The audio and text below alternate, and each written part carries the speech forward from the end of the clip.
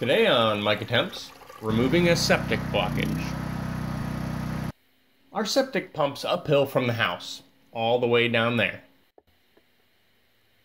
To the distribution box, all the way up here. From there, it flows into four pipes that feed into the leach field chambers over here. The third pipe from the right is slow to drain and will backflow into the distribution box.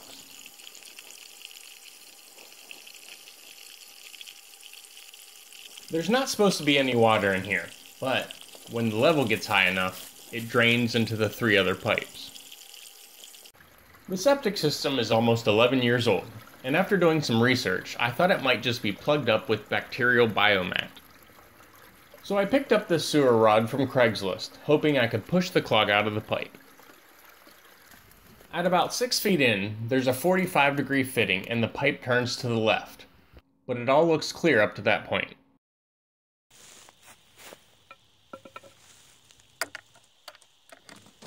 I couldn't insert the sewer rod flat because I needed it to bend to the left, so it had to be inserted vertical.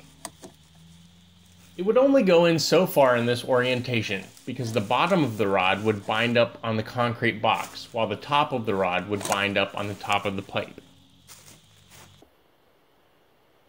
Plan B. I rented a drain cleaner. There's no electric up here, so I had to bring the generator. The drain cleaner came with a few different bits, and I assumed this cutter tip would be my best bet.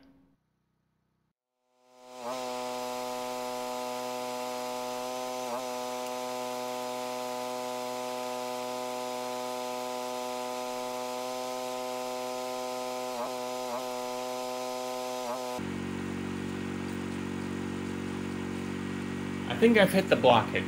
I can't get the cable to go any further.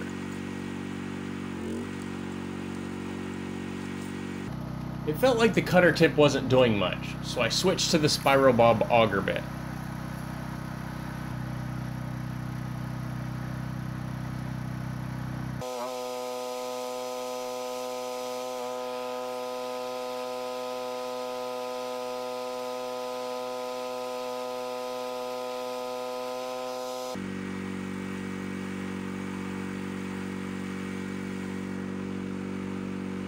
That's when I realized roots were my problem.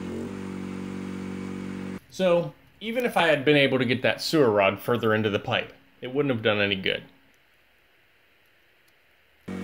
Just for the record, I did not want to do this job.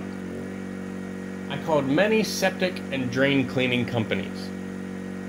The drain cleaning services wouldn't hydrojet or use a drain auger on a leach field and the septic services just wanted to dig it up for thousands of dollars. I spent the next couple of hours driving the bit into the roots, backing it out, and cleaning out the bit each time. It took so long because I was only getting small amounts of root material. That is, until I fished out this whopper.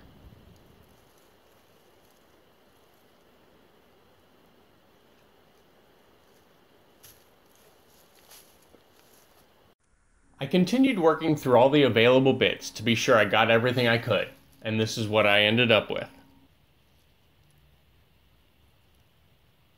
This bit caught the end of the small 1 inch pipe and busted the whole thing off, but I was able to glue it back on.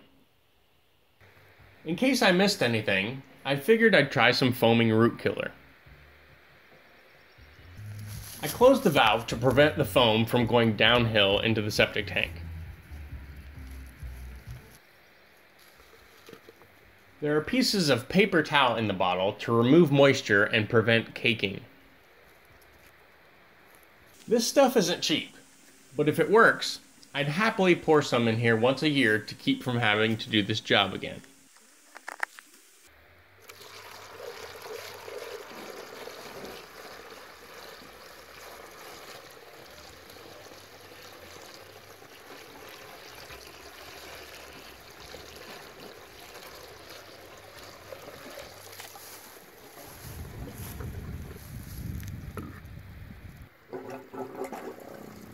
Now when the pump kicks on, no more backflow.